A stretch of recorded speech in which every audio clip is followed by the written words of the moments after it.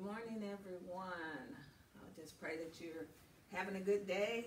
Let us uh, go to the Lord in prayer and then get started. Father, thank you for this beautiful morning. Thank you for another day, another opportunity, Lord, to be sown into. Father, I pray for the hearers and the hearts, Lord, that as this word goes forth and as we begin to break down the word and the scriptures, God, that the hearing uh, would move upon the hearts, and then we would put feet to our faith, Lord, and go out and do what you are charging us to do. Lord, we love you today, and we bless you and we praise you. In Jesus' name we pray, amen.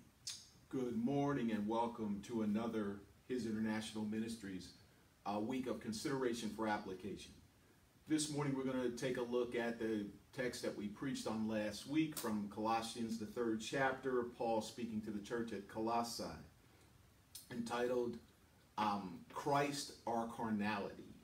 So we're going to take a look at that sermon this morning. Um, as we went back over the sermon and looked at it, as we always do, decided that this particular sermon will indeed take two weeks to examine. But we think that is critical for your growth. Uh, one of the things that this ministry prides itself on is equipping the body of Christ. James 1.22 says, Be ye doers of the word and not hearers only. In order for us to be able to do the word of God, we must first understand the word of God and how it applies to us, um, how it impacts our lives, and has the potential to impact the lives of others through us.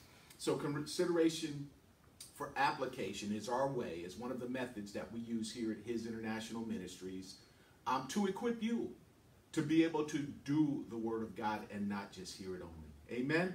So this morning we're going to go ahead and get started. Again, it's out of the book of Colossians, the third chapter, verses 1 through 17, and we'll begin to break that down.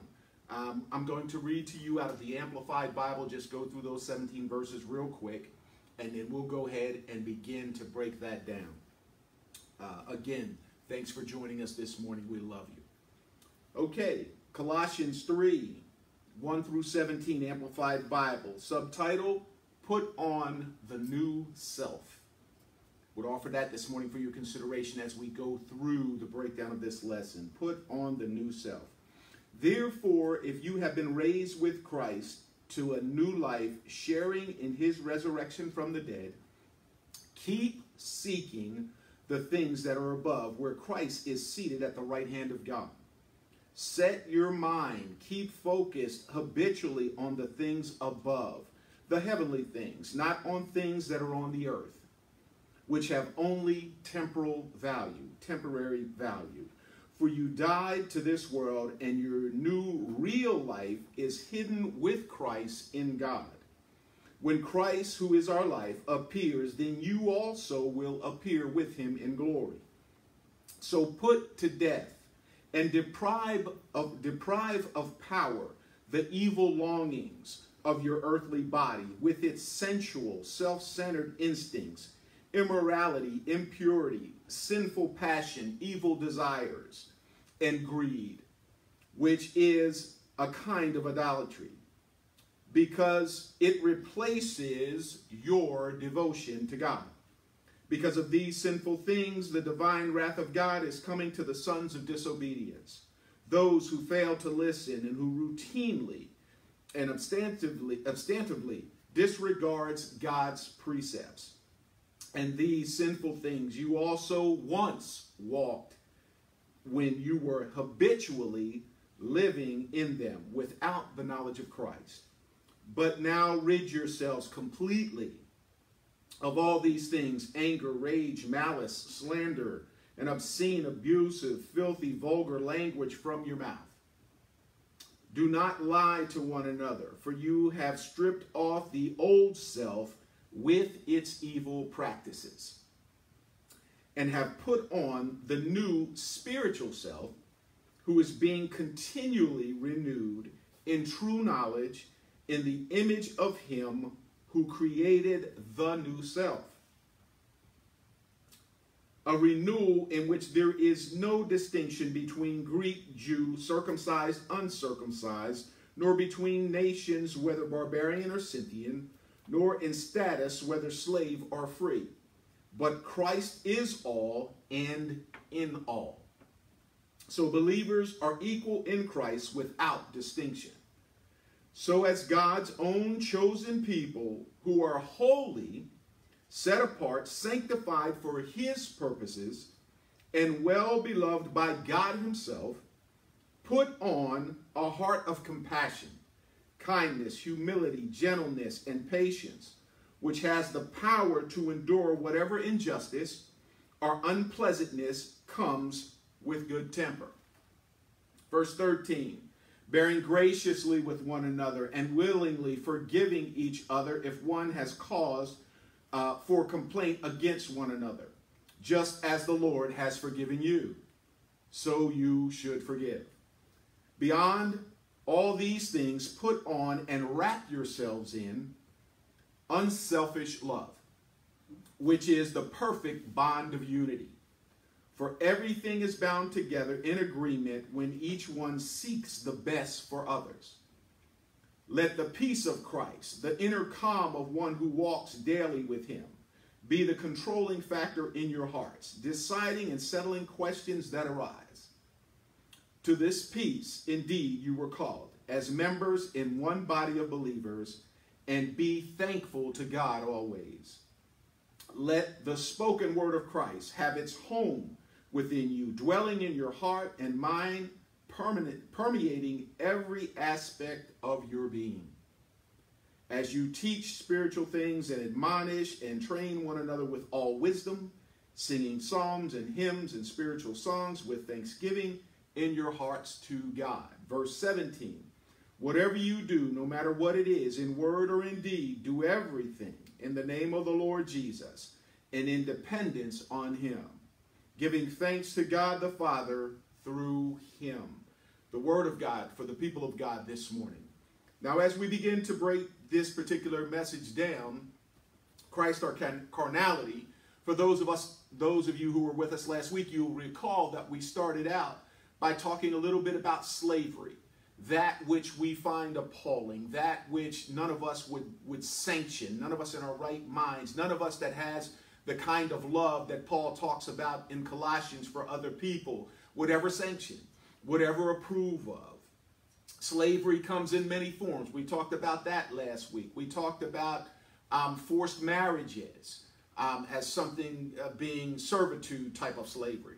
We talked about those that are that are being sold, human trafficking. We talked a little bit about that. Uh, we, we tend to think of slavery um, in terms of people.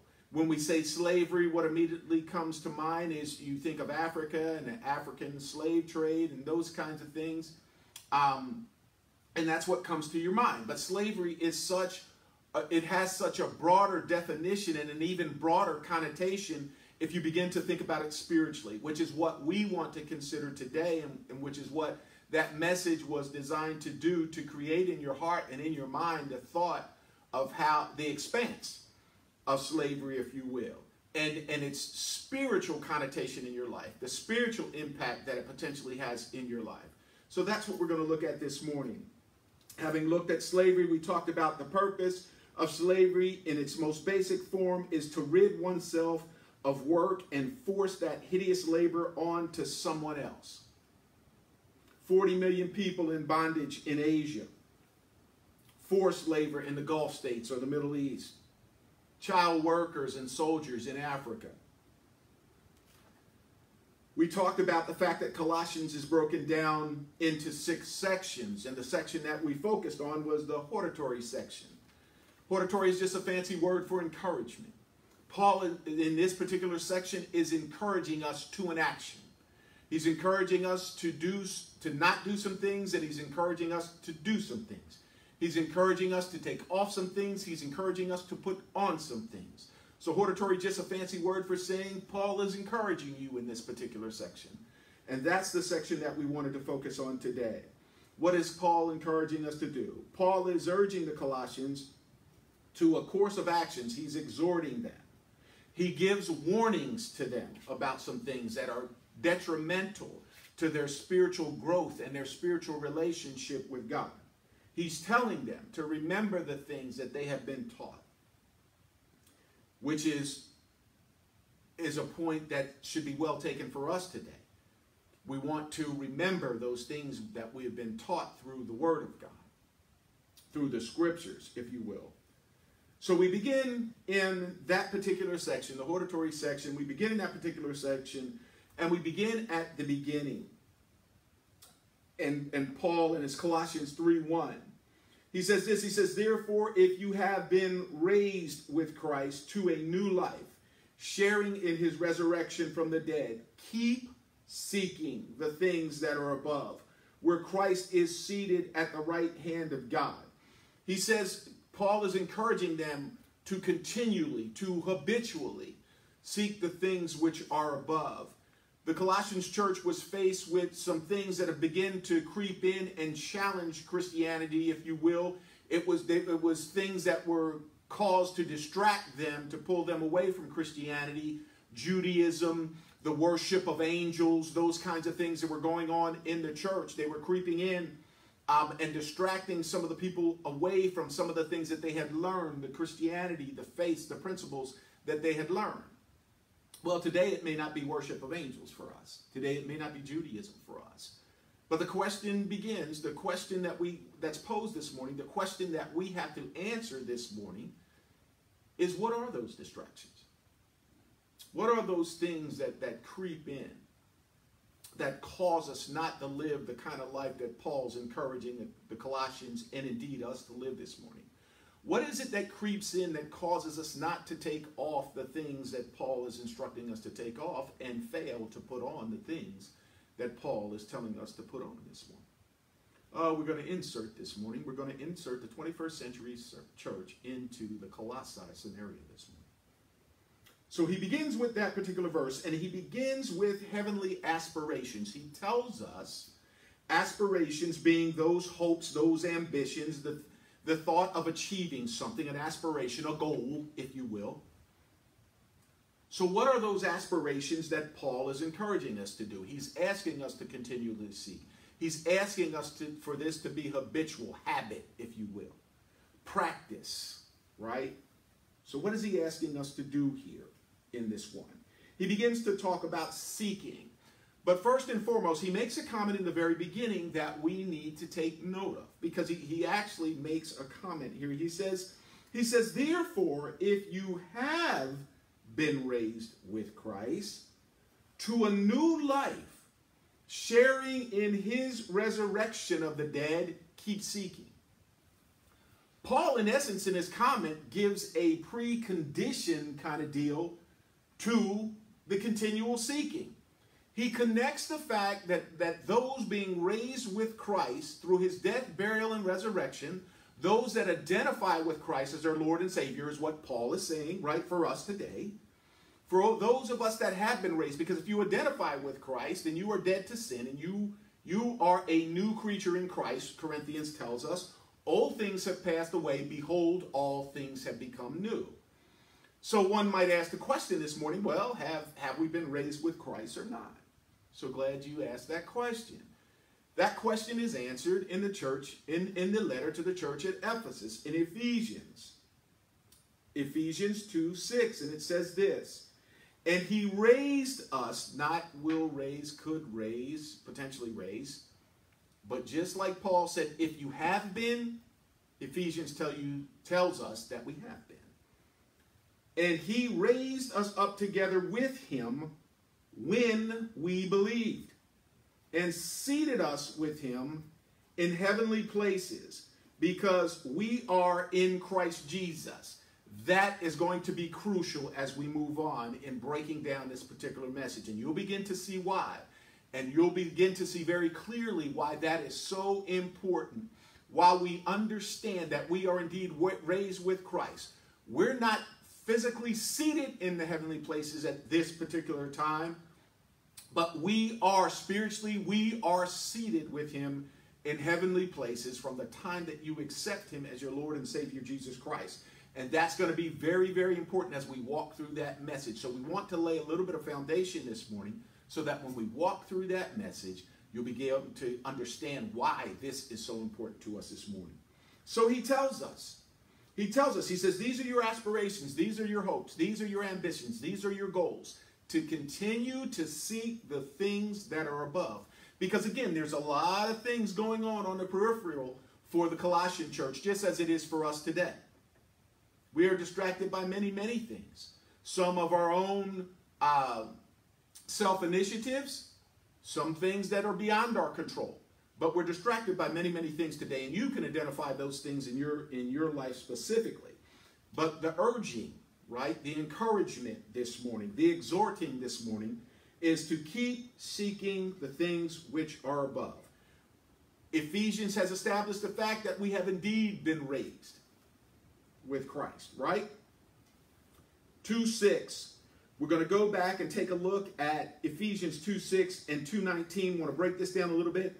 And we're going to take a look at 1 Peter 2.11. We want to break this down a little bit because there's these particular passages of scriptures begins to develop a relationship that is as important as us understanding that we've been raised with Christ is to understand the relationship we have with Christ having accepted him. And that's going to be important as we move forward.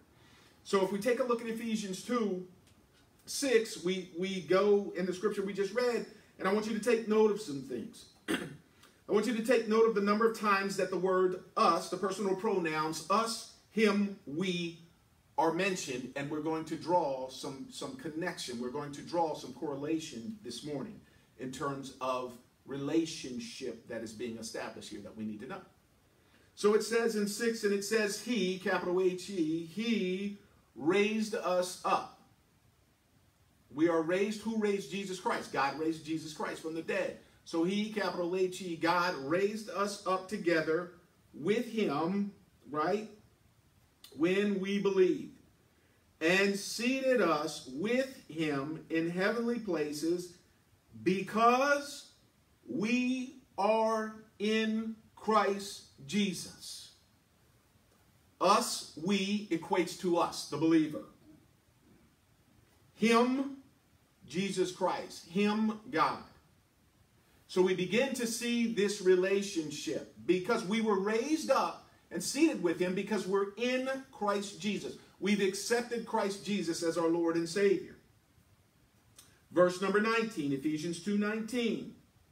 So so then you are no longer strangers and aliens, outsiders without rights of citizenship. But you are fellow citizens with the saints, God's people, and are members of the household of God. So now we begin to see some of the benefits of being raised and being seated in heavenly places. Now we begin to see some of the benefits of being in Christ Jesus. This is important because we have to know, we have to know who we are. We can ill afford to have an identity crisis here in the earth. Scripture tells us that we're in this world, but we're not of it. And I think a part of the problem with us, and a part of the problem with the Colossians church, is we fail to believe and we fail to understand where our citizenship lies. Where our citizenship lies. We tend to rely more on our earthly birth certificates than we do on our heavenly rebirth, our heavenly citizenship, our heavenly position, if you will. It's easy to take on the things of the world because we happen to be physically in the world. You have to begin to, to have a paradigm shift. You have to begin to shift the way that you think about where you are and who you are and whose you are. So it's important that we know who we are. And we're going to divide that in just a second. First Peter 2 and 11. Beloved, I urge, here he is again. He's encouraging again. He's exhorting again, hortatory again. He said, Beloved, this is Peter. Beloved, I urge you as aliens and strangers in this world to abstain from the sensual urges, those dishonorable desires that wage war against the soul. He counterbalances what Paul tells you in Ephesians 2:19. Paul says that you are no longer strangers. You are no longer aliens. Paul begins to make the connection to our heavenly citizenship.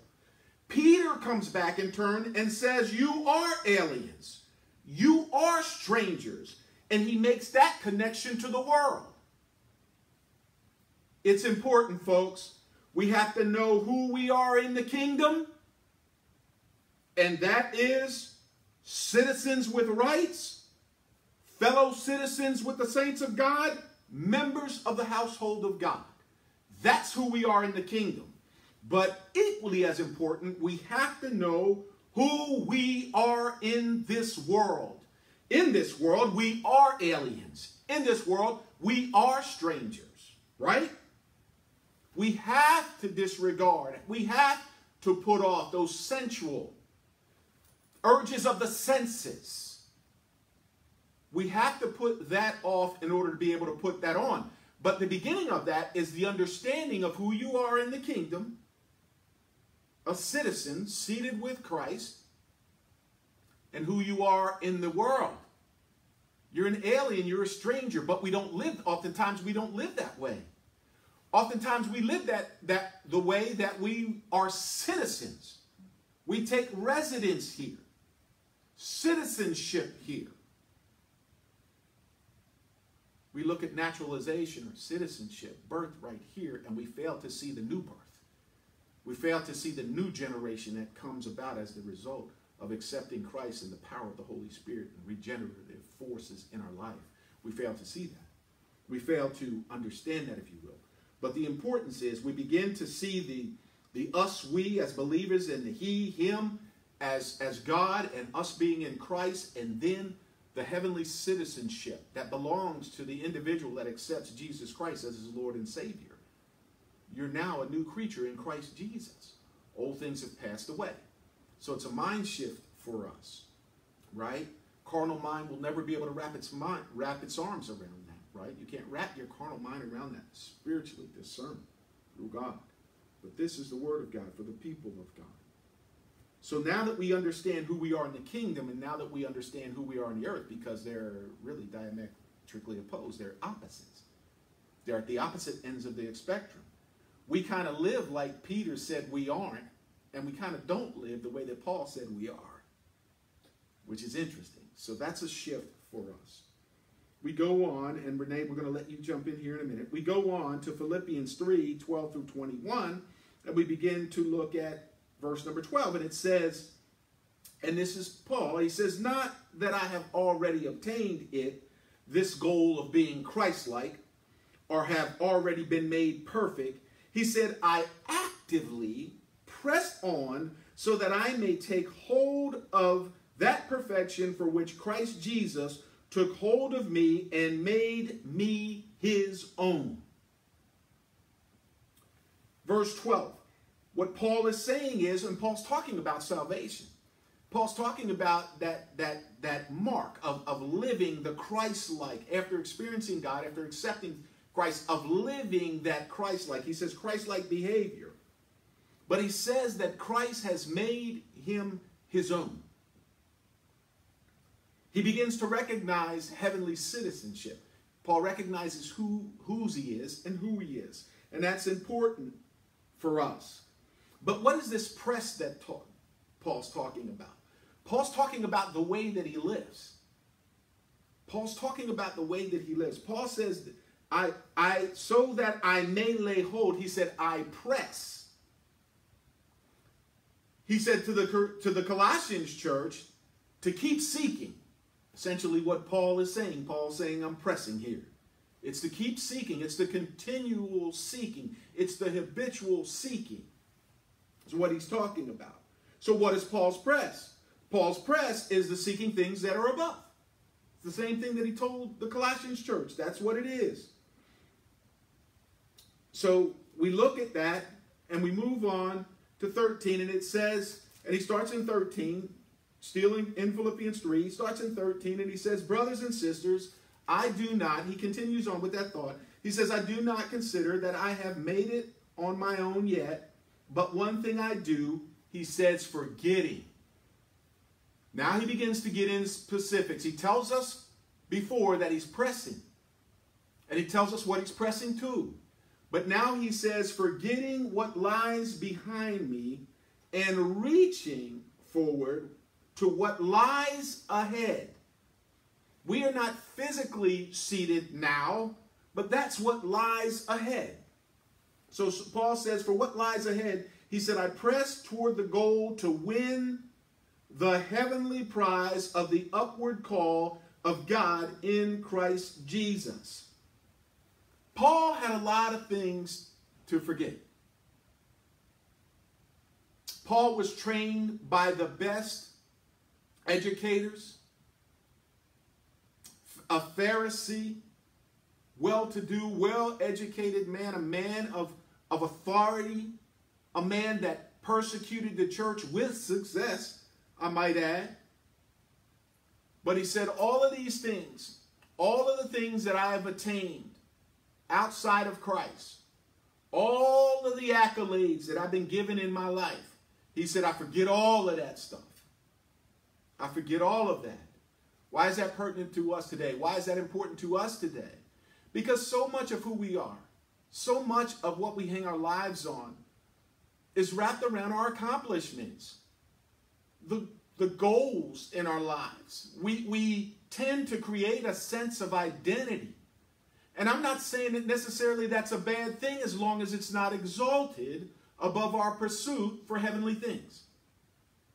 Our identity is in Christ, not in, in the accolades we receive or the awards or the degrees or the promotions. That's not where it is. Again, heavenly citizenship. Paul begins to describe here his hopes and his ambitions. He begins to describe what he wants to achieve. In other words, all of those other things that I have achieved, that's not it. That's not it. I have new achievements, is what Paul says. And then he goes on after describing some of these aspirations that he has. He begins to go on in 17 and he's, he addresses the church again. He said, Brothers and sisters, he says, together, he says, follow my example and observe those who live by the pattern we gave. That's the pattern of righteousness. That's the pattern of godliness. That's the pattern of seeking heavenly things. He says, he says, for there are many of whom I have often told you, and now tell you even with tears, who live as enemies of the cross of Christ, rejecting and opposing his way of salvation, whose fate is destruction, whose God is their belly, their worldly appetite, their sensuality, their vanity. He says, and whose glory is in their shame who focus their mind on earthly and temporal or temporary things, but we are different, he says. Because our citizenship, here it is again, our citizenship is in heaven. Paul is on the earth when he speaks this. But he says we're different. He says because our citizenship is in heaven. And from there, we eagerly, eagerly await the coming of the Savior, the Lord Jesus Christ. Paul addresses those that oppose the cross. He says they reject and oppose the way of salvation. He describes them as enemies of the cross. Now think about that for a minute. He's talking about people who are pursuing, who have worldly pursuits. He says the appetite, their appetite is the appetite of their belly. They're selfish. They don't have an appetite for pursuing the things of God. They have an appetite for the things of this world. That's pretty powerful that Paul would say that these folks are enemies of the cross. Enemies of the cross. Think about that for a minute. So he begins to deal with those that oppose and reject the way of salvation. He connects their worldly appetites and sensualities as a barrier for pursuing heavenly things. Paul begins to address once again our citizenship, exhorting us to seek, exhorting us to have aspirations for things that are above. I had read in the sermon, The Kingdom Dynamics, that talked about spiritual responsibility. It says, The creatures that God created, the creature that God created in man, is enabled, has the ability to, is enabled to respond to Him, God. Man becomes response, man becomes a response able being. We are created to respond to God. He is qualitatively a different sort of being, man, endowed with ability and freedom to fellowship and participate in the life of God. You are free to do this. You have the ability to do this in God. You have the ability to respond to God. We are enabled. So then, if we are citizens of the kingdom, if we are enabled, if we are enabled, let's do it this way. If we are enabled to respond to God, we respond to God, we take on kingdom citizenship, then we must reject some things. We must oppose some things. And we must reject and oppose the right things. For we have the ability to reject and oppose anything, to include God. But we must reject and oppose the appetite of our bellies. We must reject and oppose that. We must respond in freedom to God because we've been endowed with that power. Renae, you want to jump in? You have anything? There's only one thing that um, is still vivid in what Chuck had been sharing, and unfortunately, I'm not a news person, so I don't watch it enough. But I know that there's been a major thing about uh, people from other countries trying to get in here. And so when you were talking about citizenship, all I, uh, that came to me and and a lot of this is stuff that I am taking to Renae right now. So I'm just sharing. Is the line, you know, how they want to come over to America because that's the land of the free and the home of the great, uh, the the home of the brave. So which line are we in? Are mm. we in the one that wants to come down mm. here and no longer be an alien here, but we want citizenship here? Mm-hmm. Why isn't there a line of people trying to get to the heavenly citizenship? Wow a lot of that has to do with we're really not uh, portraying that it is a better place mm. because we're spending so much time in the line to break it. We want to be citizens here. I want my oh, stuff here. I want to stay here. I don't want to leave here. You know, I don't. We we look like the world. We're talking a good game, and I'm talking about me because that mm. really struck me. I thought, okay, so it, it, am I in the line? Am I trying to break into here? Mm. Which is an easy thing. We don't have any guards trying to get you here. The bait is calling you here. But which line are we standing in? And the one to heaven is the one. I love what Chuck just said a minute again, a uh, minute ago, uh, because we have the ability to do what God is calling us to do. So it all boils down to the choice mm.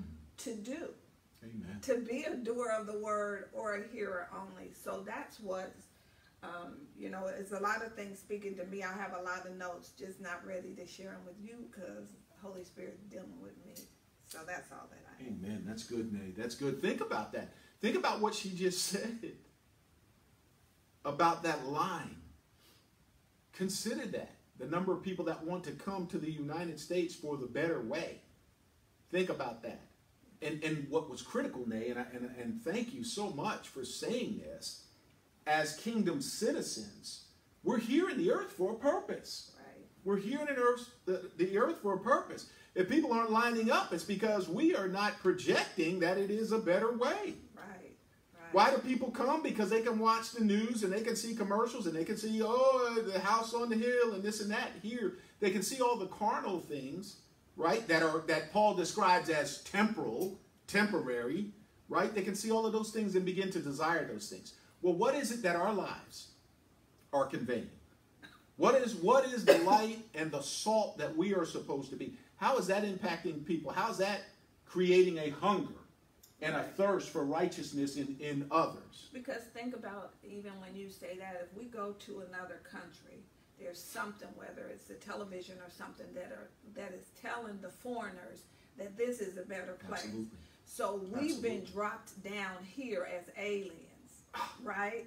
Ah. And, and so what is it that we're bringing to Ah. the table that's saying to them, I want to go where they are. Wow. It, it's not looking like it's a whole lot of draw. Um, that we ain't Wow. seeing a whole lot Wow. to encourage people to come over. Wow. Saying. Nay. Nay, you're on to something, babe. You're on to something. Because when you say we're aliens and we're strangers, we Right. don't live like that. Right. That's why people aren't hungering and thirsting for Right. righteousness. We are living like citizens here in the earth. Being conformed. We are we are conformed to the earth. We are living like citizens here. We're not living like aliens here. If we were li- if we were to live like strangers and aliens here, Yeah. then we would be projecting that the better way. Yep. That's it. If we would continue to seek, as Paul is saying, heavenly things, and, and aliens and strangers will do that, right? Come on. Those that are satisfied in their countries, those that live in Europe and Germany and in Italy and love their countries, they're not trying to come here. They're not trying to come here. Typically, a lot of a lot of immigrants coming from the third world countries, whose countries are ravished with war and hunger and poverty. Germans ain't trying to come here. Italians, a lot of them are not trying to come here. And many of us are not trying to go there. Right. Think about that for a minute. We're living like citizens here when we should be living like aliens and strangers here. Paul said that's who you are. That's who you are. You're there, but you're just passing through. You're not a citizen there. You're not a citizen. You are an alien and you are a stranger there. That would help us make better use of our time in, in terms of being salt and light to others. Holy Spirit began to deal with me on this because we're talking, we're still talking about slavery, and we're going to get to more of that as we go along. But the Holy Spirit began to deal with me on the idea of diplomatic immunity. Diplomatic immunity. What is a diplomat? A diplomat is just someone who represents a country abroad. If we, in fact, let's expand that definition to a heavenly perspective, if you will. If, in fact, we are aliens and strangers, but yet we are here and our citizenship is in heaven, that means we're abroad because we're not in heaven. We are representatives abroad. Bible uses the word instead of diplomats, it says we are ambassadors for Christ. Essentially the same thing. An ambassador is a representative of a country.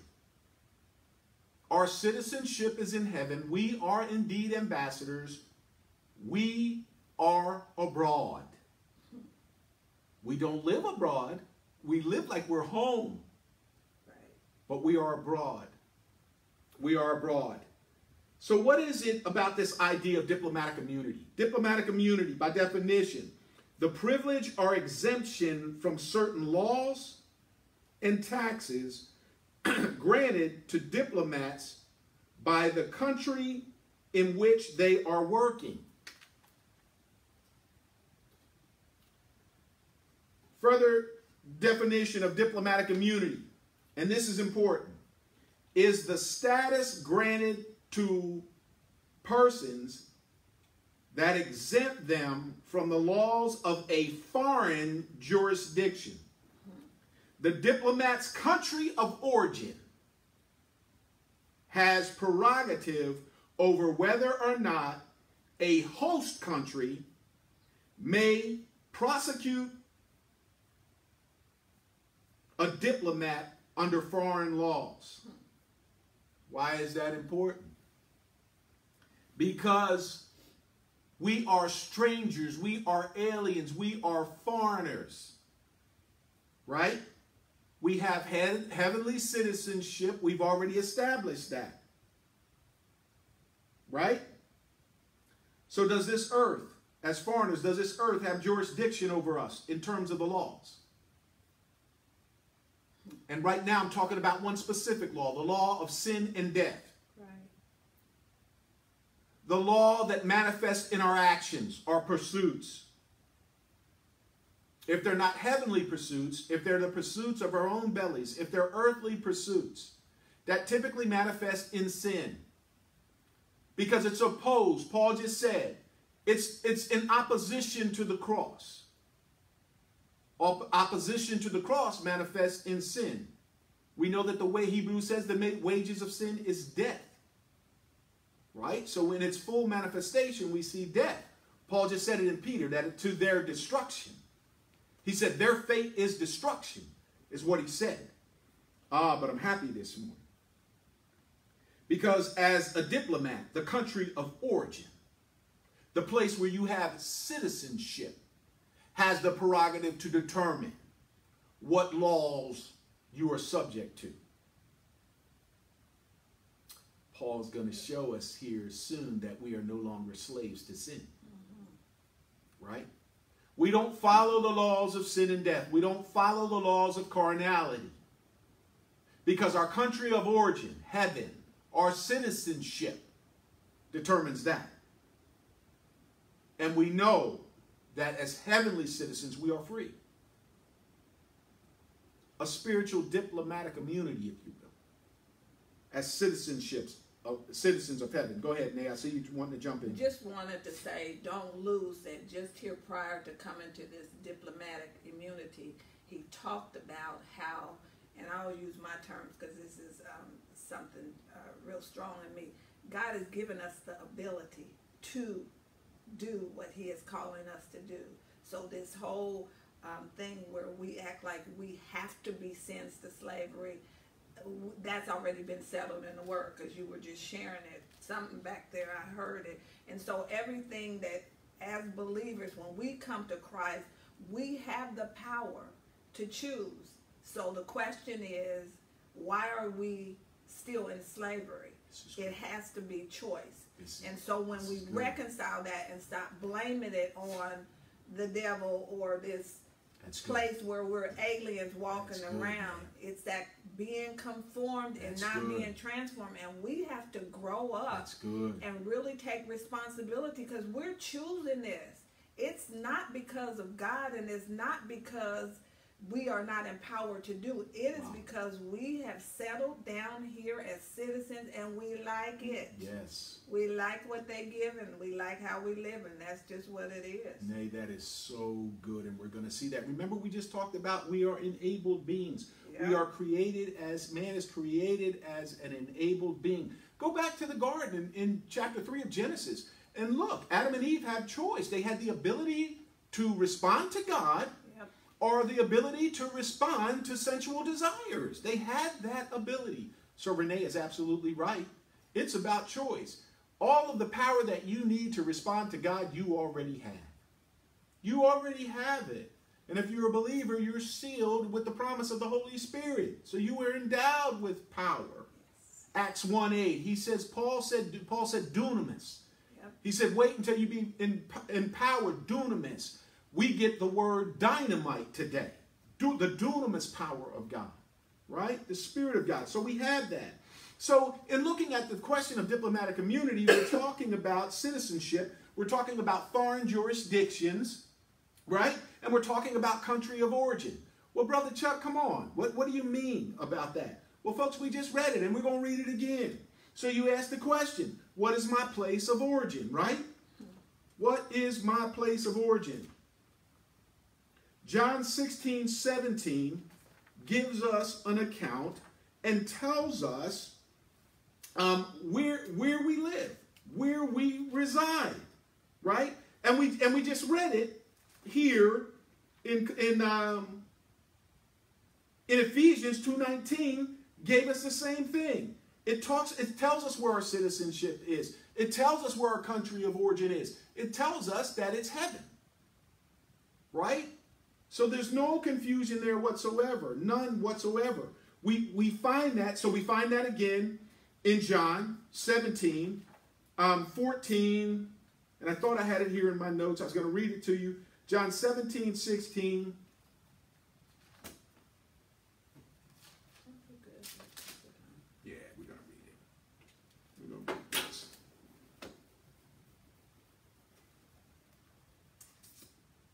want you to read, I'm going to have Renae read it.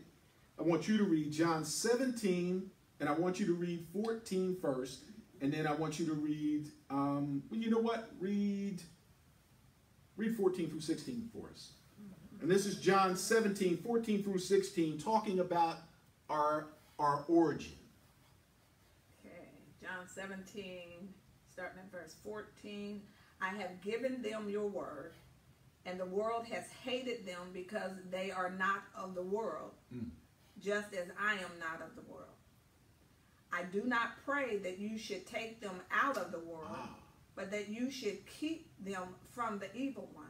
Verse 16 They are not of the world, ah. just as I am not of the world. Do you want me to read on? Nope, stop it right there. Renae, what color are those letters? Red. Who's speaking? Jesus. This is Jesus. Now, now we're not having, we're not recording the words of Paul. We're not recording the words of Paul. Now this is Jesus himself in John 17, and he's describing the believer's origin. He's saying, and he's talking to the Father, he said, they're not of it. They're not of this world. He said, now I don't pray that you take them out because there's a reason for them being there. Renae just talked about people lining up to come to the United States. Well, the desire of God is that people would line up. Yeah, that's good. That people would find him. So Jesus said, I'm not praying. He said, Father, I'm not praying that you take them out. I'm not praying that because they have a reason for being here. But then he goes on into 16. And Renae, if you would read 16 again, and he just reconfirms what he's saying. They are not of the world, just as I am not of the world citizenship. Remember? He said that we are seated in heavenly places because of what? Because we are in Christ Jesus. If we are in Christ Jesus and Christ Jesus is not of this world, then how can we possibly be of this world?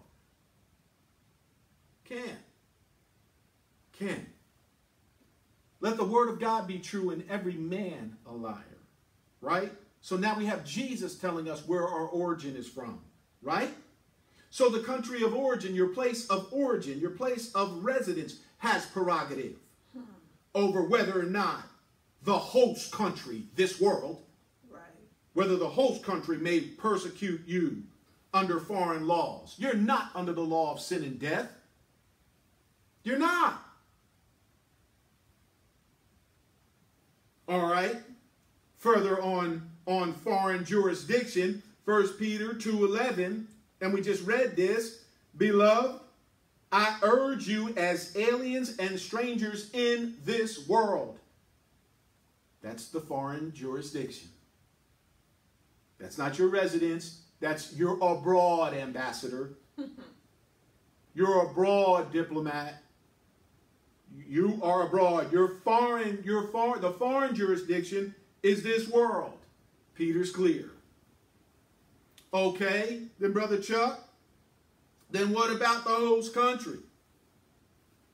Well, Ephesians 2.19. So then you are no longer strangers and aliens, outsiders without rights of citizenship, but you are fellow citizens with the saints of God, the people of God, and are members of the household of God. Heaven ain't the host country. The world's the host country. The world is the host country in there. Your citizenship is in heaven. Heaven has jurisdiction over you. So if we say we have to live to sin, then all of that is a lie and all of that is a non truth. And I'm here to tell you today that is not the case. We are not subject to the laws of sin and death unless, Renae talked about choice, right? Unless we yield to the carnal appetites of our belly that Paul talked about. You have an option. You have a choice. You have free will. You can follow the instructions just as Paul was telling the Corinthians church. Keep seeking the things that are above.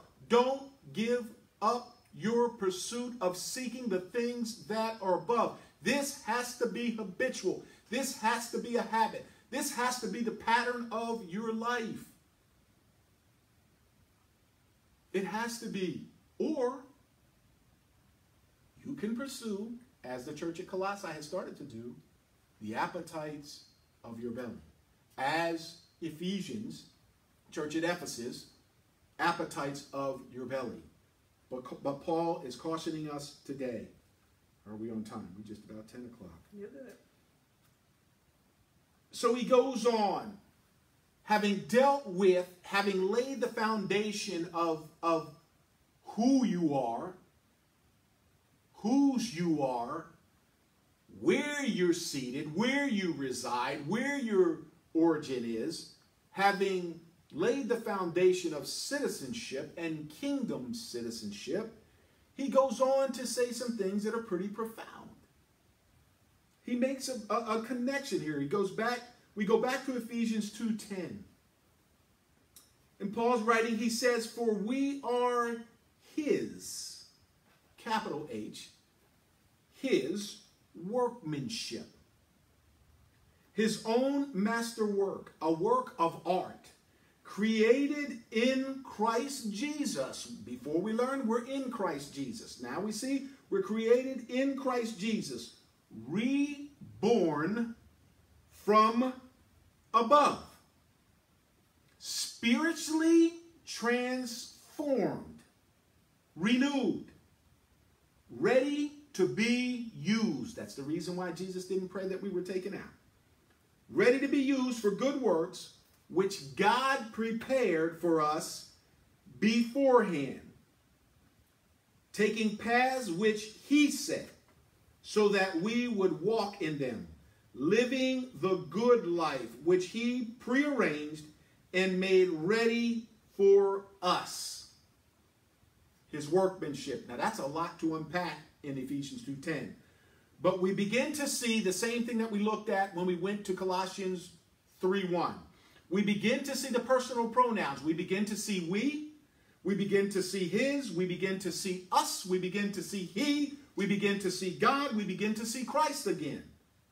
So again, we begin to see that relationship. We begin to see that pattern again that we saw in Colossians 1 3. But he deals with this idea of workmanship. Workmanship being the Greek word poiema. The word signifies that which is manufactured, a product, a design, produced by an artisan. An artisan being a specialist, an artisan being a worker, someone that works with his hands. Genesis, you can see the works of his hands. It emphasizes God as the master designer the universe as his creations, and we see that in Romans 1:20. And the redeemed believer as his new creation here in Ephesians 2:10. Before conversions, our lives had no rhyme or reason. Paul said, "You were once, you once walked in sin." That's pre-conversion. But post-conversions, we take on a new nature. We take on new character. We take on new citizenship. As God being, as, as us being a part of the workmanship of God. The master creator, the master builder, the master artisan, if you will. So Paul begins to work this, he begins to work citizenship and workmanship together. He goes and tells us where we belong, who we belong to, and then he begins to tell us what we are. We are the workmanship of God, right? Now, here's what's interesting. He goes on to say, taking the paths that were set before us beforehand. No creator, no inventor invents something and creates something without a purpose. None of them do. Even if it even if they fail in the first attempt, they will continue to build, to, to change, to mold, to adjust until that product does exactly what they envisioned it to do. And here, Ephesians is Paul is telling us exactly that. He said, You're his workmanship, created for good works, not to oppose the cross, but to glorify God, to honor the cross, to take paths, right? He said to take paths that he said, that the creator said, that the, that the master builder said. Not your own way, but the way that the designer, the master designer created you for.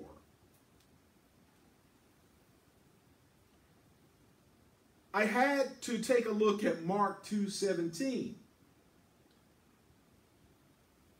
And I'm sorry, 12:17 and and the spiritual leaders of the day were trying to trap Jesus and they were and it was a conversation on taxes.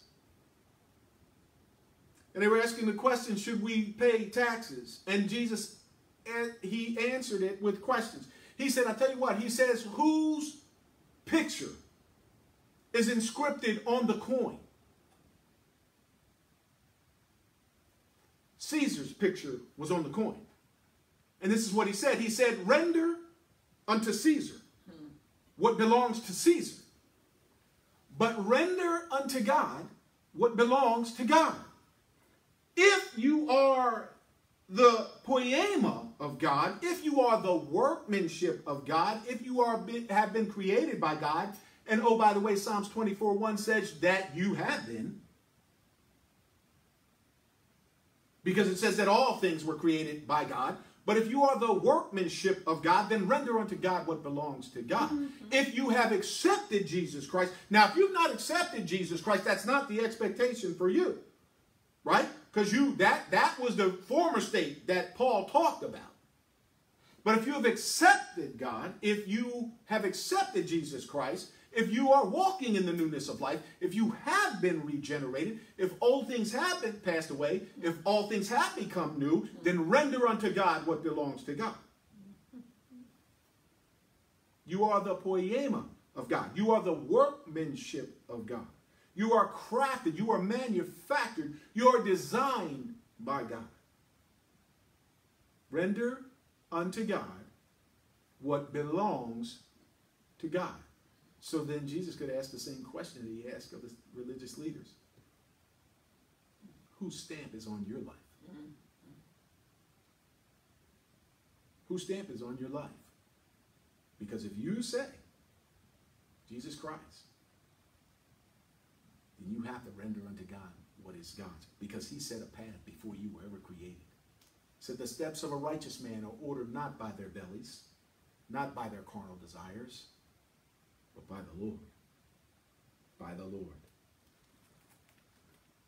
Um, we're going to we're going to finish this this morning. We're going to finish this section this morning. Paul began to deal not only with aspirations, but he also began to deal with affections. He tells us to continue to prove, he says, continue to seek the things of God. But then he goes on and he begins to deal with the mind. And he says, and he's talking about our affections now. He says, set your mind on things above. It's a consistent message with what he says about your aspirations, about your goals and desires. Keep seeking heavenly things. Now he's saying, set your mind on things above, not on things on the earth. Now, Paul speaking to spiritual mind and not a carnal mind. Because a carnal mind is not going to do that. A carnal mind is going to be in opposition to the cross, as we've already learned, right? So he begins to deal with this idea of affections.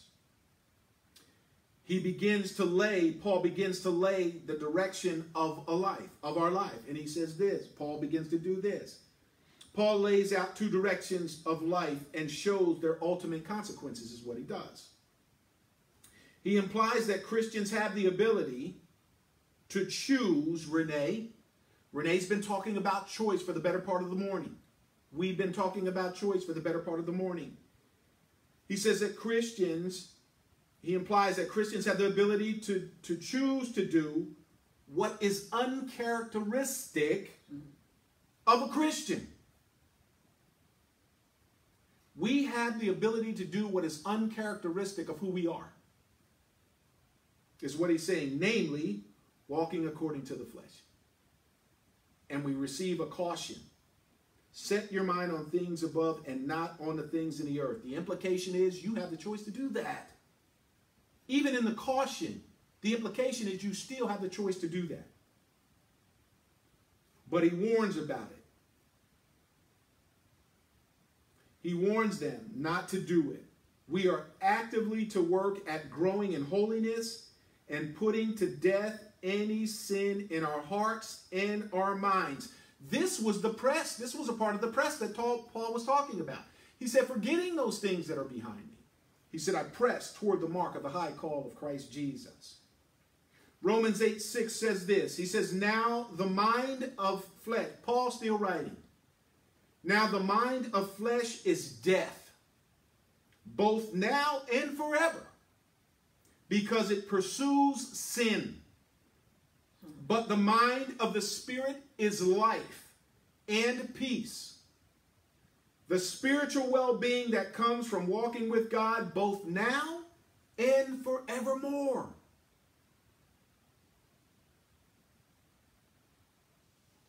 First John 2:15 says this. It says, "Do not love the world of sin that opposes God and his precepts." Here it is again. Nor the things that are in the world. If anyone loves the world, the love of the Father is not in him. Think about that. Mm-hmm. Now, not only do we have the potential of opposing the cross and being in opposition to God, now First John is telling us that if the love of the Father is not in us, if the love of the world is in us, then the love of the Father is not in us.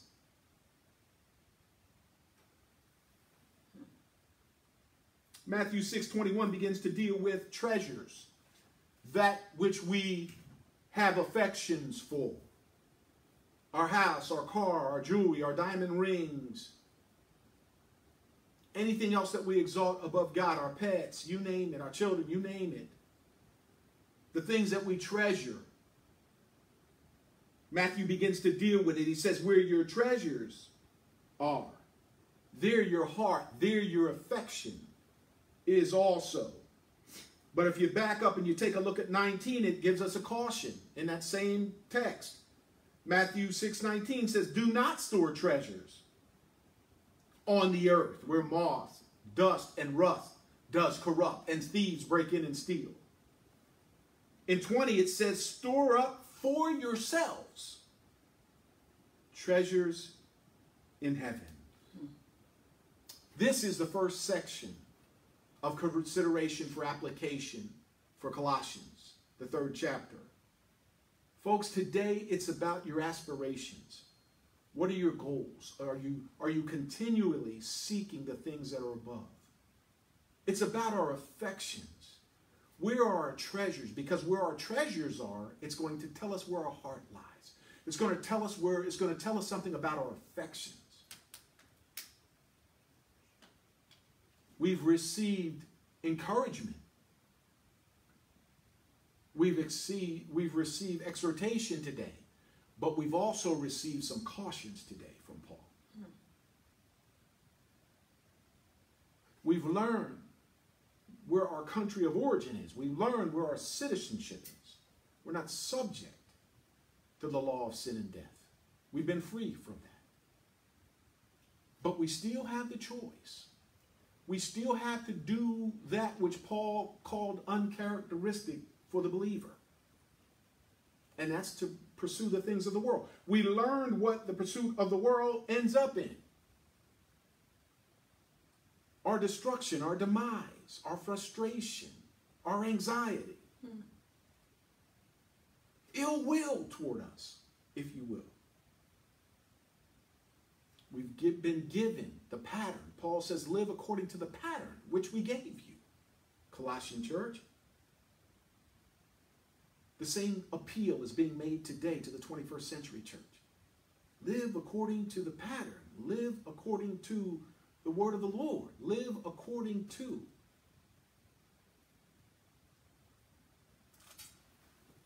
That is section one. Nay, do you have anything in closing?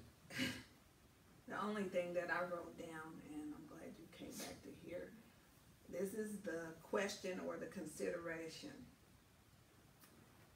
Are we using the laws of the place that we have allowed ourselves to be conformed in, and then expecting the laws of heaven ah. to work on our behalf? My God. I'm going to say yes in My many God. circumstances.